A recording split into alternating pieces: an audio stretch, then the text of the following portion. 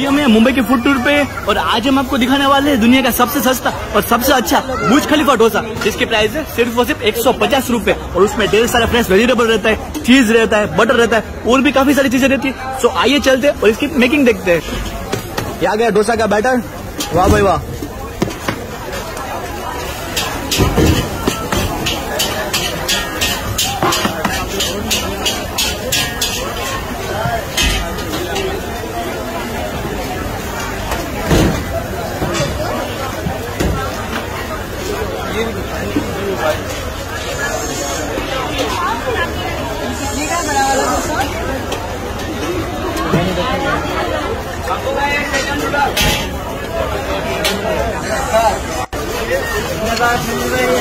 आप देख सकते हो, ये जो पूरा तवा है, वो एकदम फुल हो चुका है। अभी इसको बटर से पॉलिश किया जाएगा। वाह भाई वाह। दोस्तों, आप लोगों को कमेंट करके ज़रूर बताएगा कि आपके शहर में सबसे अच्छा डोसा कहाँ पे मिलता है। ये आ गया रेड मिर्ची पाउडर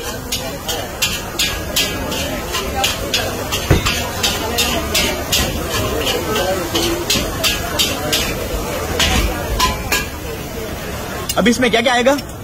ओके ये आ आलू का भाजी।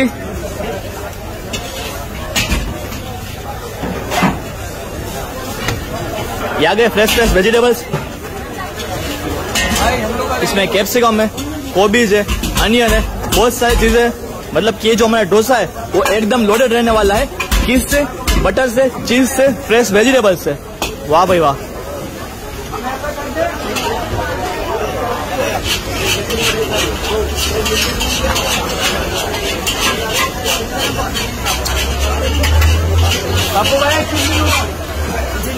वाह भाई वाह। अभी होगा असली खेल शुरू। अभी इसमें होगी चीज़ की बारिश। क्या बात है भाई। चीज़ आ रहा है भाई। क्या मस्त सीन है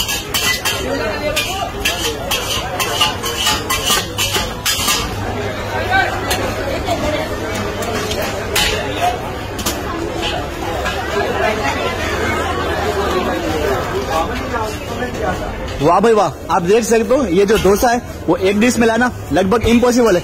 इसीलिए यहाँ पे दो डिश रखी गई है।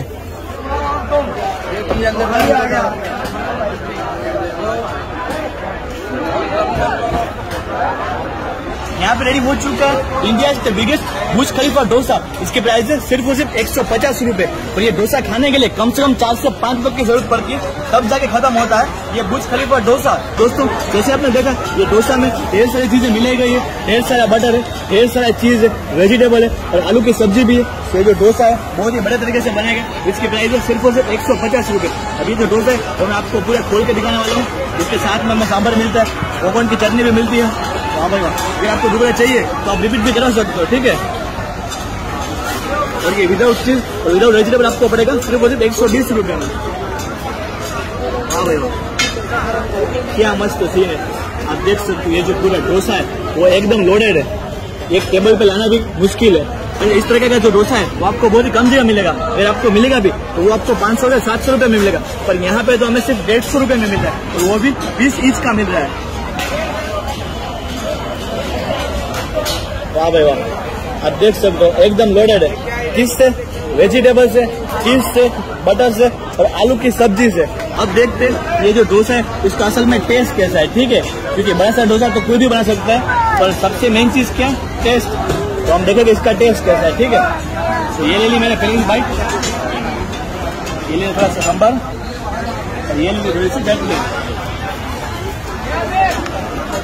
टू गुड दोस्तों, अभी हम सब साथ में बैठ के, ये जो डोसा है एकदम तबियत से खाने वाला। है तो अगर आपको भी मेरी तरह साउथ इंडियन फ़ूड खाना पसंद है अगर आपको भी मेरी तरह स्ट्रीट फ़ूड में हर रोज नई नई चीज़ें खाना पसंद है।